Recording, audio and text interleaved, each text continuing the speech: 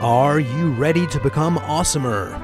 Hello, everyone. This is Umar Hameed, your host, and welcome to the No Limit Selling Podcast, where industry leaders share their tips, strategies, and advice on how to make you better, stronger, faster. Get ready for another episode.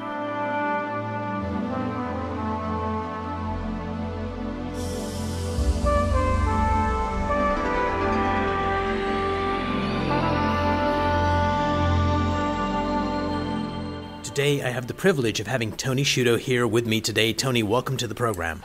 Thank you. It's great to be here. Tony, I want you to take me. We're going to go kind of mid career. 1981, you get off the plane in Japan. What was that like? Oh my God. Well, it was a long flight there. Yes. The longest flight I'd I've ever been to taken. Tokyo. It's a long flight. In my life. I was only uh, 20, maybe 28 by that time. Did you travel with the band or were you yeah, gonna- the whole band went at the same time. And um, it was amazing getting off the plane at Narita Airport, um, riding through the city. It was like Times Square, but you couldn't read The any of the signs. it was red and blue and yellow. So it was like Times white. Square on LSD. Yes, and all the um, the pagoda buildings, you know, it's just amazing. It was like a, unreal. When was your first show and where was it?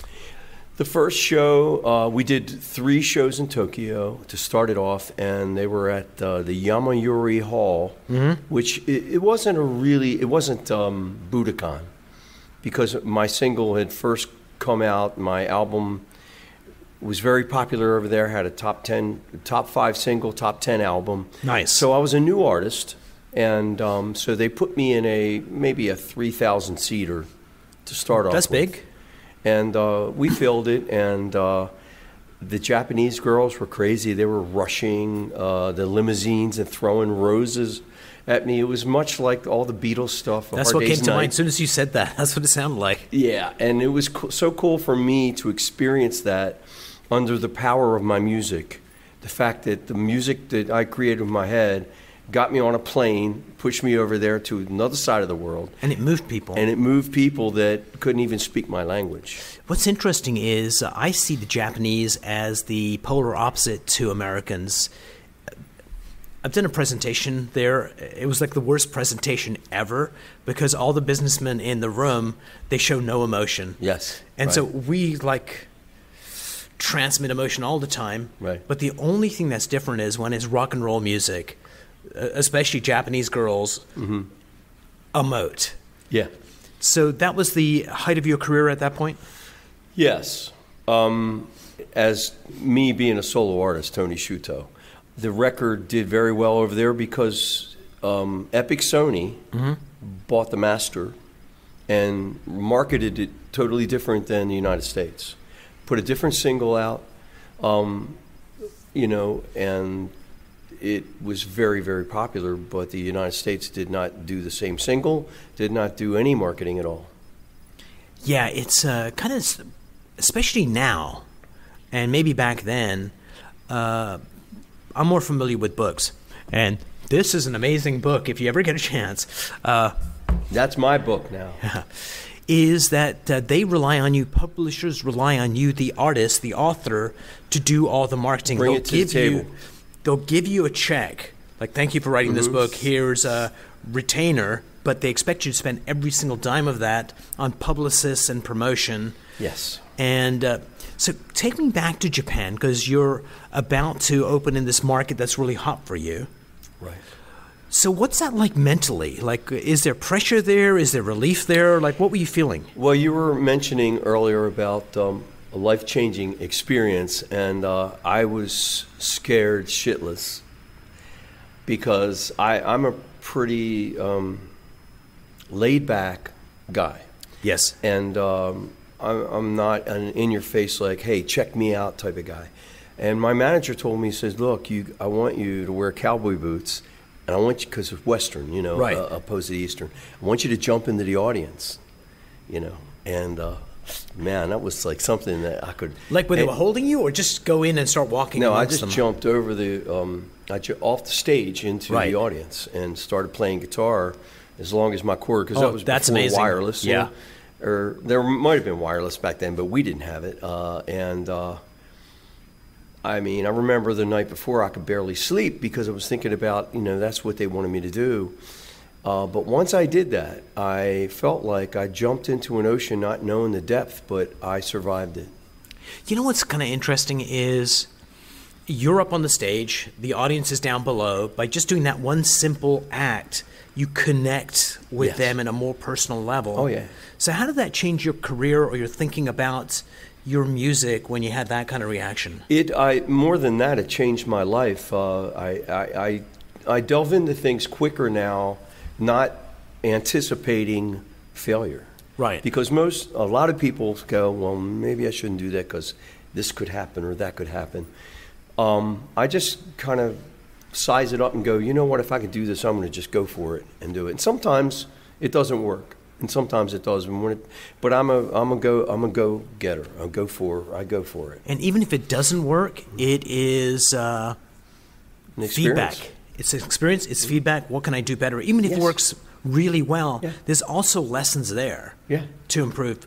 Uh, today, just earlier today at 10 o'clock, I had a meeting with this prospective client, and he'd heard me speak. We had a conversation.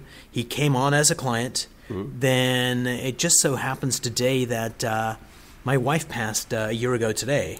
Oh, I'm sorry. And I revealed that to him just matter of factly, but kind of a lot of emotion came up when I did it. I didn't realize. But something interesting that happened uh, he trusted me enough to hire me to help him.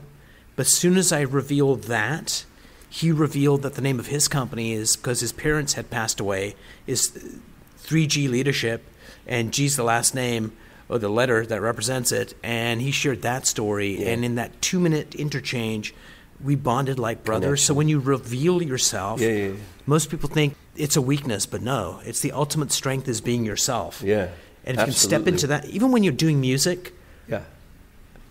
like when one of the things that sucks about doing podcast people is this is that we're going to do this podcast we're going to have a great conversation and then i'm going to turn off the recording equipment and then gold comes out of that side of the the desk because for whatever reason people let their guard down and all of a sudden they they tell me these amazing things Mm-hmm. And we can do that for ourselves when we reveal ourselves the best self comes out Right. your thoughts I, no, I feel that way. I'm I'm pretty uh, open. I, I don't really. I mean, what is is. I mean, reality is reality, and I mean, you can paint it all kinds of different colors, but it is what it is. Or what Elvis said. Um, don't uh, step on my blue suede shoes Yeah, he said that too. The truth will always come out. It might be a cloudy day, but the sun will, will shine and show the truth. He said it in a different way, but that's what it That's meant. the essence, and I right? yeah, and the, so many people today hide uh, behind some kind of barrier because of weakness. Really, What's interesting is, uh, and you can probably think of a few people right now when I mention this, that you've met people that were not being truthful. Not that they were lying, but they were hiding some part of themselves, Yeah. and you didn't know what it was. But it just gives you this slight hinky feeling that you know something isn't right. Yeah. And why go through that? Uh, there's a scene from this movie. Do you remember Crocodile Dundee? yeah, There's this one scene where uh, his host, this publisher, is talking about a psychiatrist. And she says, What do you do back in, you know, Australia in the bush? He says, Ah, we tell his, his partner, this old kind of guide, people go and talk to him. She goes, Oh, is he a therapist? He says, No, he's a busybody. If you tell him, everybody in the village knows. And if they know, you don't have a problem anymore." Right. anymore. So, Tony, tell me about a particular time where you were accidentally awesome. And by that I mean you've done a lot of performances in your career, and there could have been a time where you did this performance where you were just in the zone and you kind of look back at that evening going, you know, I wonder what happened today that I was just my very best self. Have you had one of those where I, I have those nights. I've had one of those nights all through my career, and they have one common thread: what's that? full moon. Really? Oh yeah. Isn't that interesting? Yeah, and I I, I equate it to they say that uh, if the um, the moon can move the ocean, we're seventy five percent Water? liquid. You know, so um, I would. Uh, That's the missus. You got to look after her. Yeah. so here is uh, So I've only seen you perform once. Okay. It was at Zen West. Right. And a friend of mine, Jimmy Wilson, Yes. and uh, uh, Lee Kramer, she had interviewed you in Ocean City. Yes, yes. And A, you remembered right away. yes, yes. But the thing, the reason I wanted to sit down with you was this: is that two things. One, you said that you know you were super big in Japan, and I wanted to know what that felt like being uh, a hero in a foreign land. Because Jimmy Wilson is super big in Germany, Uh huh. where people are lining up for an autograph, Wow. and but not in his homeland as much. And uh, so a uh, that, and b when you went from just being Tony Sciuto and all of a sudden uh, uh, being really popular, what was that transition like mentally? So we talked about the Japan thing. What was that transition like for you when you went from trying really hard to uh, making it? Well, it, it was making it in a sense. I mean, when I was a little boy, um, even before I saw my first rock band, which were the Beatles, Right. uh, that blew my mind. But uh, I was listening to the radio, and the radio caught my ear. Um, and my older brother would buy um, 45s. Right. Today, 45s are guns, but back in my day, they were records. And um, I'd always look at it turning around. I said, I, I want to put my name on one of those one day. Right. And I, I accomplished that. So No. when when did you have that thought? I'm going to put my name on that one day. I may have been 1962, 1961. and you were how old then? I was, excuse me? How old were you then? Oh, 1962. Uh, eight, nine. okay, so I'm going to take you through a little uh, thing, if I may. Sure. So Tony, take a deep breath in for a moment. Hold it for about three seconds. Let it out slowly. And for a moment, just close your eyes, and I want you to go back to that moment in time where your brother had that 45, and see whatever you saw back then. It could have been the 45, could have been him. James as best Brown. As, yeah, as best as you can, go back to that moment and hear whatever you heard, his conversation, your thoughts, and looking at that 45. And when you go back to that moment, seeing what you saw back then and hearing what you heard back then, you get to re experience what you were feeling. Right. What were you feeling, and where in your body do you feel it now? Um, it was the awesomeness of the sound Yeah. and it, how the sound moved me. Uh, when I was a baby, my mom told me she would take me to like cookouts and where there were bands. Yes. Like, and whenever I heard uh, trumpets, I would cry. cried. I- I would cry Interesting. because it music moved me. Um, so I was very delicate. Right. So she knew that when I was a little boy that music was I was very affected by music. So when I saw that 45 spinning around, heard that music, it it woke something up in me that made me hey, I want to do that's what I want to do. You know what's kind of interesting is I love nurses. One, they're hot. But no, did you know it's the most trusted profession in the U.S.? More than doctors, by far. But when I talk to nurses, they'll tell me about a time that I was six years old and my dad had an episode. He got rushed to the hospitals. And when I saw nurses doing what they did, I knew that I'm going to be a nurse. So it sounds like a very similar thing. Yeah. When you saw that, it was one of those life changing kind of, this is going to happen kind of things. Yeah. So, how did that change your outlook on life at that point? Well, it, it, it did in a sense. I tell you, um, academically, because uh, okay, I'll tell you a story. Um, I fell in love with uh, this one band, uh, the Four Seasons, when I was a little Yep. boy, and I lived right like a couple miles from TV Hill, and they were going to be on the Buddy Dean show, which is right down the street from my house. And I was in school, and I must have done something bad because I had to stay after school, and they were going to be on the show at a certain time, And you're going to miss it? and I was going to miss it. I ran down the hill, I skinned my arm, I was bleeding, but I got in front of that TV bl- with blood going down my arm, and I watched that show. It changed my life academically because you know when I got into high school. Um, I was working in retail selling mod clothing. I was in a band making 200 bucks a week, making 150 with uh, retail, 350 dollars a week. I'm making. I'm in a polytechnic school, and I have the um, the uh, principal say, "You got to cut your hair, or else you're kicked out of school." So, bring your mother into school. So my mom came to school, and and the principal goes, oh, "Your son looks like a girl. He's got to get his hair cut." And she goes, well, "Go to hell. He's keeping his hair like that." So that's how it changed.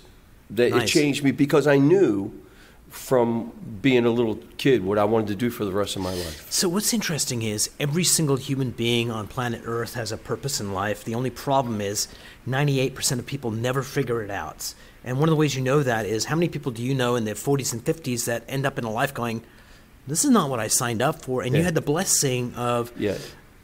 uncovering your purpose Right. and quite literally you bled for Yeah. it Yeah. going there. And it Go just gives you Yeah. focus and power to achieve, right? Well, that's the right word, blessing, because I, I, I feel like I feel like I'm chosen. I mean, a lot of times when I write music and I hear it back, and I go, "Where did that come from?" I don't remember. I mean, I remember, but it's like, wow, what a gift. So it almost transcends the physical plane when you're doing stuff like that, where Yeah. it's like, oh, where did that come from? Yeah. How did I channel this particular gem? So right now, uh, you're not at the height of your fame. No. So what was that transition like when you went from, you know, uh, adoring fans and it's like a career to stepping out of it? What was that transition like? It was depressing. Um, you know, the high that you get from going, I signed up for this, and wow, I, I hit a home run. Um, and then I find out when I come back to my home country, we, we had a, a meeting right after our Japanese tour, because you fly to LA after, from Japan to come to the East Coast. And um, I have a meeting with the head of the record company, and I, we finally get to the record company and knock on the door, and doors closed. So we think we're thinking the worst already. But finally, the door swings open, and it's Ringo Starr. and he go, and he looks at me, and goes, "I hope you have better luck than me."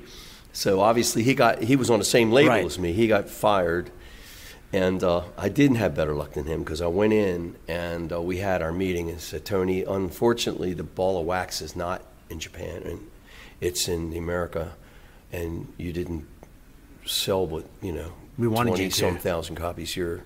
So um, I was let down. I said, but wow, the telexes sent from Japan said that we were knocking them dead with da da da all that, and they said it didn't matter. So that put threw me into a d- depression. Yeah. So here's my hypothesis. Correct me if I'm wrong. Is uh, depressing, for sure. But when you know your purpose, at some point through that depression, it was making music again. I suspect is what kept you sane. Oh yeah, I still to this day am making music. It's it's like it's like sweating. You know, I mean, it's something that's going to come out no matter what. You know. So purpose is a direction. If direction is west, there's no less west. You can go around the planet 150 times and still go west in different directions. And I think that's the blessing of purpose. Right. Is that I suspect, you know, when you're 95 and feeble-minded, you'll still be sharp when it comes to making music. Because you hear these stories of musicians that have curled up fingers and they can't do anything, but when they get before a piano, things just free up Well, and the strength of that. I'm just, kind of one of those. right.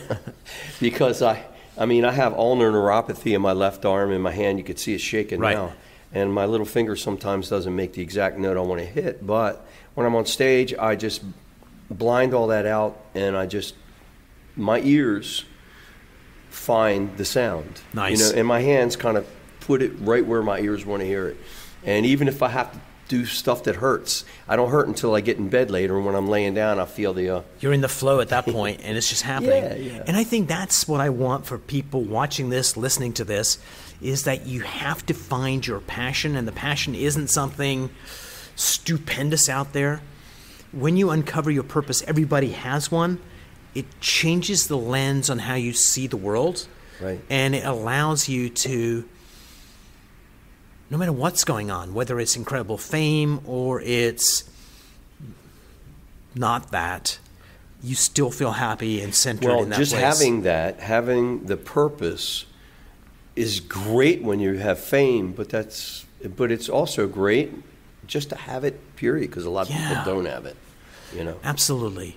So, Tony, do you have any children, by the way? I have two daughters. Yes, grown daughters. How old? Uh, one is 39. One is 32. Any grandkids? Yes, just had one. Clementine. Clementine. she's the love of my life. And this is you should write a song. No, there's a song already written about her. Uh, Yeah, my darling Clementine. yeah. So here's, I sing it to her all the time. Here's the question for you. As she grows up in this ever changing world, so what's kind of interesting, I'm going to take a side note, I'll come back, I promise, is why the hell is Shakespeare still relevant today? Is because the human condition has not changed. The toys have changed, but that human connection has not. Right. So, looking at your life and what you've learned, all the good, the bad, the ugly, uh, what would be three lessons that you wish you could impart to Clementine that would help her in her life? Three lessons. Wow. Stay away from Umar, but other than that, um, Well, I'm, I've already made her privy to the guitar because we have one up on the wall, and every time I come in, she looks at it. She's she's not even one year old yet, but um, uh, I would just say stick as close to the truth as you possibly can all Yeah. your life because there's nothing that exists other than the truth. Be kind and stay healthy. I, I don't. I mean that's that's three. be with the truth, I'd be kind, be healthy. Yeah, I'd Third one will come as soon as we finish up on that. When we shut off the mic, it'll come. Tony, what's a question I should have asked you that I didn't? Um, that's interesting. Um, well, I mean, I, I um, the Tony Sciuto aspect artist of my career was just a small part. I was I spent eight years on the road with the Little River Band. I was their pianist. Nice. Uh, I've written songs for Tina Turner, Don Johnson, Bay City Rollers, B.J. Thomas, and a, a lot of other artists that aren't that, as famous as that. Um, uh, the Beatles manager wanted to take me to uh, New York and groom me as a child star when I was mere 13 years old. Interesting stuff. I mean, my Nice. life has been blessed with a lot of nooks and crannies that, that are wonderful. So this podcast is called No Limit Selling. What we're really talking about is human beings, because ultimately selling is that. Yeah. And uh, I think our lives and the way we see the world is a lens. And through this podcast, people get to see their lives through your lens. Right. And sometimes that gives us deep moving insights that we normally wouldn't have gotten through our own lens. Right. So, Tony, thanks so much for sharing your journey. I really appreciate it. Thank you very much.